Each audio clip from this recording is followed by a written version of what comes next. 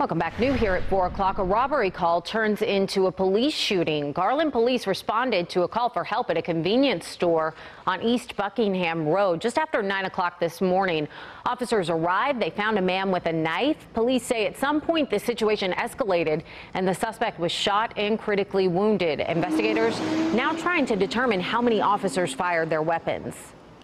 Uh, We're reviewing video surveillance from inside the convenience store. We're also reviewing all body worn cameras of our officers to try to determine exactly what happened.